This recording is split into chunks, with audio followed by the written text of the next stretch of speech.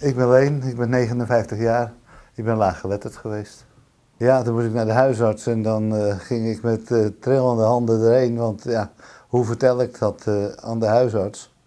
En bang was je om een formulier in te vullen. Wat wel eens voorkwam. En ja, daar schaamde je toch wel diep voor. Ja, het is gewoon heel moeilijk, want je schaamt je eigen ervoor om dat mensen het niet begrijpen door je dat niet kan lezen. Ik durfde mijn vorige huisarts niet in vertrouwen te nemen, want ik had niet zo goede band met hem. Ik had uh, hartproblemen. Ik slik nog steeds veel medicijnen, 8 à 10 stuks.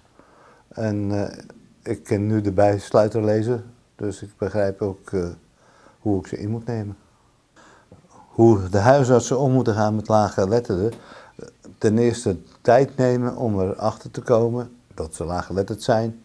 En dan proberen een begrip te tonen. En ja, gewoon, oh, u bent laaggeletterd, uh, ik zal het nog eens een keer uitleggen. Ik voel me zeker meer op mijn gebak bij de huisarts dat ik kan lezen en schrijven.